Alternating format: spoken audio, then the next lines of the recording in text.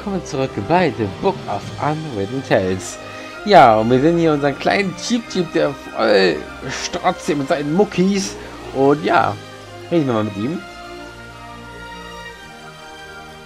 Gab es unterwegs irgendwelche Probleme? Gut.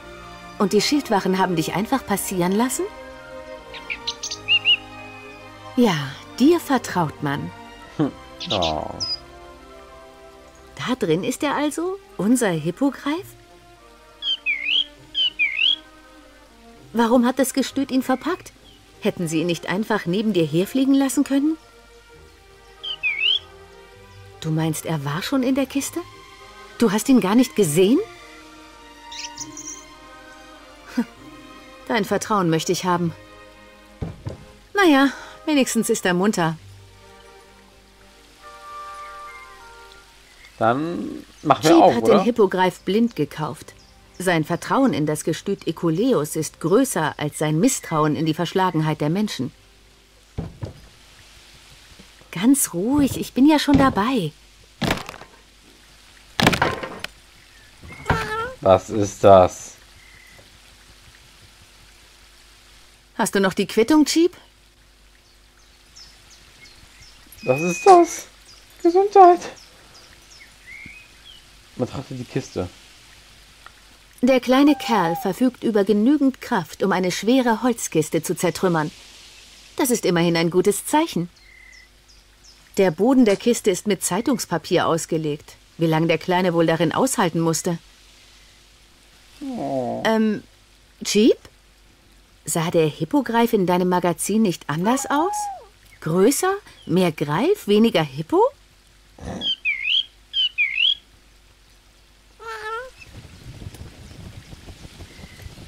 Ob das die Seuche ist? Mutter sagte, sie verwandle Dinge. Naja. Gesundheit. Okay, äh. Reiten wir auf dem Hippogreifen. Du bist stark, oder? Du konntest immerhin die Kiste zertrümmern. Kannst du mich bis nach Seefels tragen? Also schön.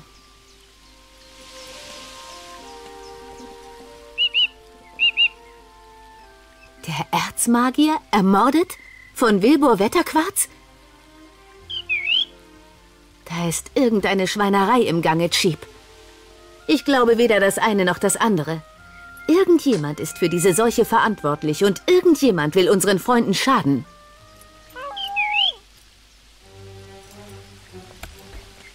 Auf nach Seefels. Ja, sehr cool. Was, aber Wilbur soll Alistair getötet haben? Glaube ich nicht. Wenige Tage zuvor in Seefels. Wilbur! Mein Name ist Wetterquarz. Professor Wetterquarz. Sie wollen uns unterrichten? Äh, ja. Warum denn nicht?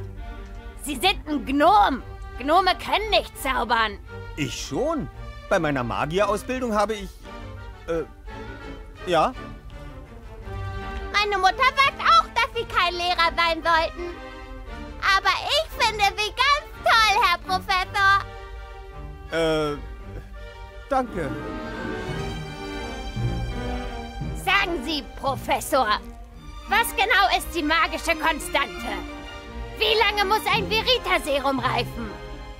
Was können Sie uns zu altmagischen Runen sagen?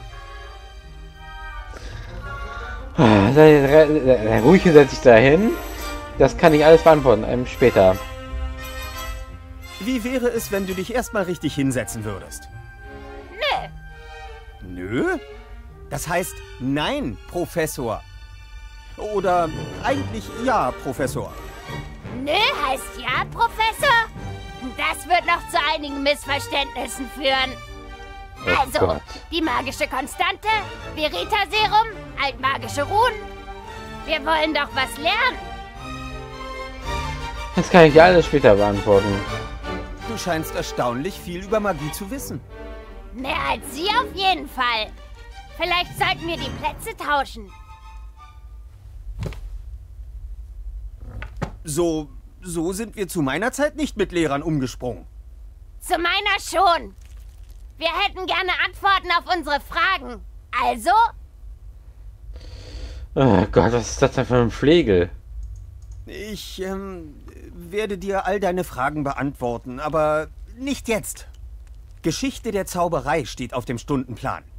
Dann eine Geschichtsfrage. Wie jeder weiß, sind Gnome völlig inkompetent, wenn es um Magie geht.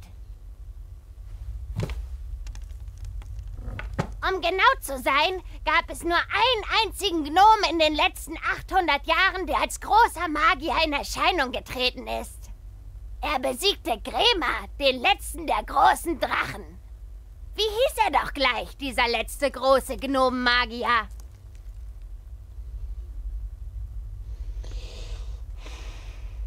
Er hieß, setz dich richtig an deinen Tisch und stell keine dummen Fragen. Aber heißt es nicht auch, es gibt keine dummen Fragen, nur dumme Antworten? Genauso wie es keine schlechten Schüler geben soll, sondern nur schlechte Lehrer. Alter, ist dieses Kind frech. Das ist jetzt nicht der richtige Zeitpunkt. Wir ähm, schlagen unser Textbuch auf. Auf Seite 100 und... Äh, ich hatte also recht, oder? Sie wissen gar nichts. Nicht einmal wie der einzige große Magier ihres eigenen Volkes hieß. Ich, ähm... Ich brauche nur einen Schluck Wasser. Frosch im Hals. Ha! Oh Gott, was ist das für ein Gör? Oh Mann. Meister Markus hat mich gewarnt, dass mich die Schüler in den ersten Stunden testen würden. Aber das hier ist ein Albtraum. Ich... Ich weiß diese Dinge nicht. Ich weiß gar nichts. Ganz ruhig. Lass dir etwas einfallen, Wilbur. Gut, jetzt. Ach, super. Jetzt sind wir also Wilbur. Okay, am liebsten Eine wenn Schale mit frischem, kühlem Wasser für meinen Mitbewohner. Ach so Schande. Die Schale voller Zum Wasser. Mitnehmen ist die Schale ungeeignet. Ich meine, wie soll ich eine Schale mit Wasser in die Tasche stecken, ohne meine ganze Robe zu bekleckern? Tja, Es ist ja nicht so, als könnte ich alles Mögliche einfach so einstecken. Hm, aber hier im Zimmer könnte ich die Schüssel wohl benutzen. Mit Fridolin. Willst du etwas Wasser, Fridolin? Er scheint vor allem Hunger zu haben. Okay, hier kann ich auch mal nichts machen. Was haben wir denn hier alles? Boah, das ist... Wow. Das ganze Schulgebäude ist etwas unheimlich. Niemand weiß genau, wo es in den letzten 20 Jahren gesteckt hat. Es war von heute auf morgen verschwunden und ist ebenso überraschend wieder aufgetaucht, nachdem der Krieg vorbei war. Steckt eine Menge Magie in dem alten Gemäuer. Der Kachelofen ist zum Beispiel immer an, obwohl ich ihn nie befeuert habe. Jetzt im Winter ist ein magischer Kachelofen eine feine Sache. Aber im Sommer könnte es in diesem kleinen Zimmer schnell unerträglich heiß werden. Ich muss auch kurz die Musik ein bisschen ändern. Das ist ja fürchterlich. Ah. Nein, nicht zum Hauptmenü. Spiel fortsetzen. Weil man sonst nichts mehr von Bilbo versteht. Fühle die Wärme. Au! Der Stein ist mehr als warm. Okay. Was haben wir hier noch so? Betrachte die Schuhe. Das muss der älteste Schuh sein, den ich jemals gesehen habe. Er ist so alt, dass er sogar das Müffeln verlernt hat. Das ist seltsam. Unten im Schuh liegt Papier. Vielleicht hat der Schuh ein Loch und das Papier sollte den Träger vor nassen Füßen bewahren. Hm, das Blatt stammt aus einem Buch. Es ist in der Mitte gefaltet und vorne und hinten bedruckt. Ergibt vier Buchseiten. Es wurde nicht herausgerissen. Sieht eher aus, als hätte sich das Blatt aus dem Leim gelöst. Ich stecke es ein. Ein gefaltetes Blatt aus einem Buch. Insgesamt vier Seiten wurden darauf gedruckt. Ich weiß nicht, was für ein Buch es ist, aber ich sollte die Augen nach weiteren Seiten offen halten. Hm. Okay. Was haben wir hier? Betrachte die Packung Tierfutter. Es kann auf Dauer nicht gesund sein, wenn Fridolin immer nur Pergament und alte Schriftrollen frisst. Vielleicht mag er auch das Tierfutter, das ich gekauft habe. So, und der Tierfutter. Meister Markus und der Erzmagier waren so damit beschäftigt, die Stadt wieder aufzubauen, dass niemand Gelegenheit hatte, mir etwas übers Unterrichten beizubringen. Unten in der Stadt stand dieser Karton in einem Schaufenster. Ich dachte mir, er könnte nützlich sein. Immerhin sind Kinder mit Zauberstäben darauf abgebildet. Aber leider scheint es dabei nur um diese Tricks zu gehen. Wie die Sache mit Herrn Wuppermann, dem Zylinder und dem Kaninchen. Ein kurzes weißes Seil, ein paar Würfel, Spielkarten und eine Anleitung, wie man die Leute hinters Licht führen soll. Das ist einfach nicht richtig. Echte Magie oder gar keine. Echte Magie oder gar keine. Das haben wir hier. Betrachtet den Es sah Krempel. hier schon so aus, bevor ich eingezogen bin. Generationen von Lehrern müssen ihren Kram hier zurückgelassen haben. Ich mag das. Die Schule hat eine Geschichte. Und wenn ich Zeit habe, werde ich in ihr stöbern. Du hast doch Zeit. Was hast du in der Zwischenzeit gemacht zwischen dem Artefakt des Schicksals und bis jetzt? Ein paar der Kisten und Kartons sind beschriftet. Finger weg. Eigentum des Halbblutprinzen. Schrödinger. Hm. In der Kiste könnte eine tote Katze sein. Oder nicht? Halbblutprinz, na, eine Anspielung auf Harry Potter. Mr. Potter. Das ist mein Vertrag. Unterschrieben vom Erzmagier. Ich bin der erste Lehrer in der Schule für Zauberei und Hexerei. Zumindest seitdem die Schule wieder aufgetaucht ist. Erst wollte ich nicht annehmen. Ich weiß ja fast nichts über Magie. Aber Meister Alistair meinte, es gebe nur noch sehr wenige Zauberer und ich hätte die Magierausbildung schneller bestanden als jeder andere. Ich sei genau der Richtige für den Job. Ich wollte gerne helfen und mehr über Magie erfahren. Also habe ich zugesagt. Hoffentlich war das die richtige Entscheidung. Ich will Meister Alistair nicht enttäuschen. Ich weiß nicht, ob du ihn enttäuscht oder nicht. Ah, betrachte den Teddy. Na komm, Teddy betrachten. Der Teddy ist nur ähm, ein Andenken und moralische Unterstützung von zu Hause. Eine weiche und kuschelige moralische Unterstützung. Das Bett ist recht gemütlich. So gemütlich, dass Fridolin es in Beschlag genommen hat. Aber das ist okay. Freunde teilen und er lässt mich am Fußende schlafen. Bitte was? Früher hätte ich mich in so einer Situation im Bett verkrochen und gehofft, dass sich alles irgendwie von alleine regelt. Aber heute geht das nicht mehr. Ich bin Professor für Magie und muss meine Probleme selber lösen. Das Bett ist recht gem... Aber das... Was haben wir hier? Äh, betrachte das Bett. Äh, Prilonias Hasenschar. Was haben wir hier? Das ist die Fliegerbrille, die mein Opa mir von meiner ersten Reise nach Seefels gegeben hat. Naja, oder eine Fliegerbrille. Das Original ging verloren, als Opa mich aus der Kanone abfeuerte. Ich habe herausgefunden, dass Opa einen ganzen Karton mit diesen Brillen hat. Jedes Mal, wenn er jemanden zu einer waghalsigen Dummheit überreden will, schwingt er eine feierliche Rede und verschenkt seine alte Fliegerbrille. Ah, Meine ganze Familie ist im Weißkammgebirge geblieben. Was sollen sie auch hier in Seefels? Das ist nicht ihre Welt. Die kleine Sydney kann mittlerweile laufen und erreicht alles, was auf den Werkbänken liegt. Das hat ihren Erfindungsoutput verdreifacht. Maggie baut keine Kampfroboter mehr, seit der Krieg vorbei ist. Sie experimentiert nun mit Rechenmaschinen. Aber Opa sagt, das hat keine Zukunft. Es war nicht leicht, Ihnen zu sagen, dass ich kein Ingenieur, sondern Magier bin. Mama meinte, sie hätte es immer geahnt. oh, deine Mutter weiß ja immerhin was, ne? So, was haben wir hier? Der Zauberstab. Mein Zauberstab. Der König der Diebe hat ihn mir während meiner Magierausbildung besorgt. Er und die anderen Ratten haben in den letzten Monaten unermüdlich geholfen, die Stadt wieder aufzubauen. Sie arbeiten eng mit dem Erzmagier zusammen, wenn auch meistens im Verborgenen. Ich nehme ihn mal mit. Ich habe immer noch nicht herausgefunden, wie er genau funktioniert. Manchmal vollbringt er ganz erstaunliche Magie, manchmal streikt er selbst bei einfachsten Aufgaben. Erzmagier Alistair hat versprochen, ihn sich bei Gelegenheit einmal anzusehen.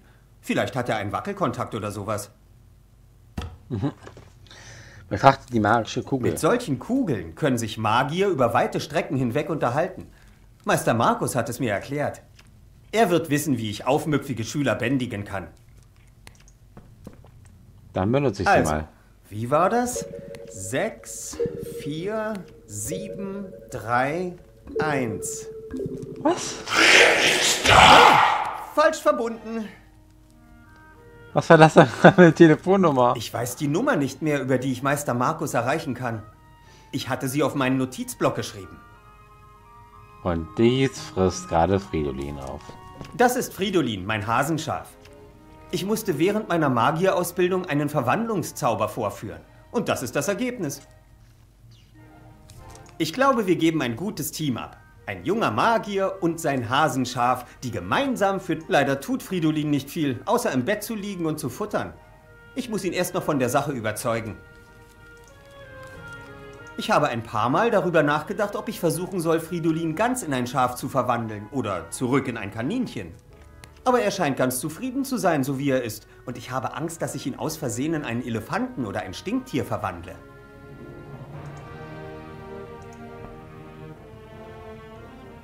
Okay, wir machen es so. Ich gebe dir leckeres Tierfutter und du gibst mir dafür meinen Notizblock wieder. Okay, Kumpel? Gut, ich zuerst. Äh, okay. Dann jetzt bitte meinen Notizblock. Hey, ich dachte, wir hätten eine Abmachung. Hey. Äh. Schüttere Futter aufs Bett. Vielleicht kann ich Fridolin von meinem Notizblock weglocken. Das war's. Mehr ist nicht drin. Hey, Fridolin, schau, Futter. Du musst nur hinhoppeln und es dir holen.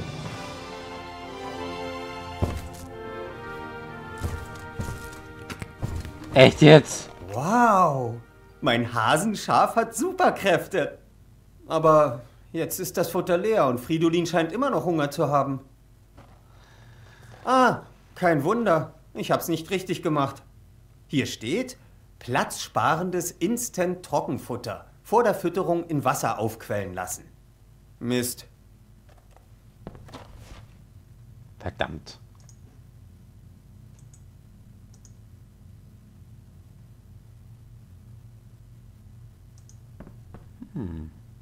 Wie wäre es mit etwas Wasser, um das Futter runterzuspülen? Das habe ich mir gedacht. War ziemlich trocken, das Futter, oder?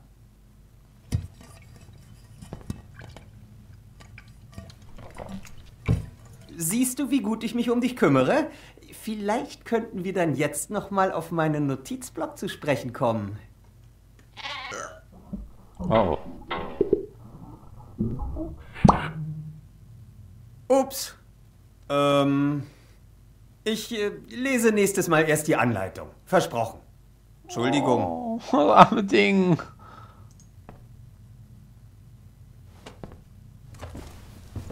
Oh, das arme Ding. Das tut mir ziemlich so leid. So. Ups, das wollte ich doch gar nicht. Ähm, ich wollte... Hier steht Meister Markus. Nur in Notfällen. 64179. Hm, Wenn das kein Notfall ist. Ich verliere den Respekt meiner Schüler noch bevor ich ihn hatte. Dann rufen wir ihn mal an. Also gut. 6, 4, 1, 7 und ähm 9. Hoffentlich klappt es dieses Mal. Ja, hallo? Meister Markus, Wilbur, was ist denn? da ist dieser Junge. Der ist frech und unverschämt und er hört nicht auf mich. Wilbur, du bist jetzt Lehrer. Natürlich sind die Schüler frech und unverschämt. Du musst dich durchsetzen. Ich bin doch erst seit ein paar Tagen Lehrer und ich bin ganz alleine. Und die Schule ist unheimlich und es gibt keine Lehrbücher und niemand will etwas lernen und Wilbur, niemand erwartet von dir, dass du sofort der perfekte Lehrer bist. Begeistere deine Schüler für Magie. Das wäre ein guter Anfang. Äh, ich würde ja meine Schüler begeistern, aber wie soll ich das anstellen? aber wie soll ich denn meine Schüler begeistern? Ich habe keine Ahnung von Geschichte der Zauberei. Offensichtlich nicht. Sonst wüsstest du, dass man damit keine Hexe hinter dem Ofen hervorlocken kann. Aber es steht auf dem Lehrplan. Ach, vergiss den Lehrplan. Mach das, was du gut kannst. Zaubere. Bring sie zum Staunen. Bring sie dazu, das auch können zu wollen. Aber ich weiß nicht wie. Wilbur, du hast ein Schaf aus einem Zylinder gezaubert und wusstest nicht wie. Geh da raus und hau sie um. Lass die Magie die Arbeit tun. Du weißt vielleicht nicht, was du tust, aber du tust es. Einfach zaubern? Einfach zaubern. Ähm. Ihr Bruder hat mich ein Naturtalent genannt. Ich bin wirklich ganz gut im Zaubern, oder? Du hast in deiner Ausbildung ein paar unglaubliche Dinge geleistet. Ich wünschte nur, ich könnte die Magie besser kontrollieren. Manchmal sprudelt sie nur so aus mir heraus und dann wieder nichts. Hm. Ich schätze, das kommt mit der Zeit. Und wenn nicht, musst du dich auf deinen Erfindungsreichtum verlassen. Warum muss ich alleine hier unterrichten? Warum gibt es keine anderen Lehrer? Im Krieg sind viele Magier umgekommen. Es gibt nur noch wenige von uns. Und die meisten, die überlebt haben, gehen lukrativeren Beschäftigungen nach. Alchemie, Geisterjagd, Kindergeburtstage. Aber es ist doch wichtig, neue Magier auszubilden. Wenn die Besten von uns nur hinter dem Gold her sind, wer soll sich dann um die nächste Generation kümmern? Lehrer zu sein ist eine wichtige und ehrenvolle Aufgabe, Wilbur, auch wenn andere sie gering schätzen. Wenn es eine so wichtige Aufgabe ist, warum sind Sie dann nicht Lehrer an dieser Schule? Ach, Politik. Mein Bruder ist der Erzmagier und er steht im Wahlkampf. Würde er seinem eigenen Bruder einen Posten verschaffen, seine Gegner würde es freuen. Aber ich bin auch nicht böse drum. Ich habe meinen Teil geleistet. Ich habe Magier ausgebildet, als niemand anderes es mehr getan hat. Und ich habe den talentiertesten Gnomenmagier gefunden, den die Welt je gesehen hat. Oh, das war sehr nett von ihm. Es muss vor langer Zeit einmal einen Gnom mit großer Zauberkraft gegeben haben. Er hat irgendeinen Drachen erschlagen. Grema, der letzte der großen Drachen, wurde der Legende nach von einem Gnom besiegt. Genau den meine ich. Wie hieß der Gnom? Das weiß niemand. Er traf ein in Zeiten größter Not und rettete die Menschen des Südlands, indem er Unmögliches vollbrachte. Dann verschwand er spurlos.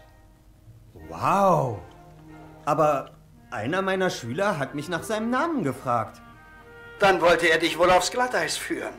Einige Schüler wollen deine Schwachstellen finden und ausprobieren, wie weit sie gehen können. Lass dir nichts gefallen.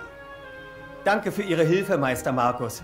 Ich bringe die Stunde irgendwie hinter mich und dann melde ich mich nochmal. In Ordnung? Nein, tut mir leid. Du hast mich beim Packen erwischt. Ich breche auf, um mit ein paar Freunden zwei spannende Wochen zu erleben. Sie fahren in den Urlaub? Jetzt? Vielleicht ist es mehr als nur ein Urlaub. Ich habe die Zaubererschule verkauft, wie du weißt. Ich möchte mir etwas Neues aufbauen. Endlich das tun, was mir wirklich Spaß macht. Rollenspiele. Hm. Rollenspiele? Live-Rollenspiele. In ein paar Tagen geht es los. Wir lassen die normale Welt der Magie, Monster und Verliese hinter uns und tauchen ein in eine Fantasiewelt. Ich bin ein Umzugsunternehmer, der mit seinem Lastwagen in einen Stau geraten ist und deswegen eine Nacht in einem Motel übernachten muss.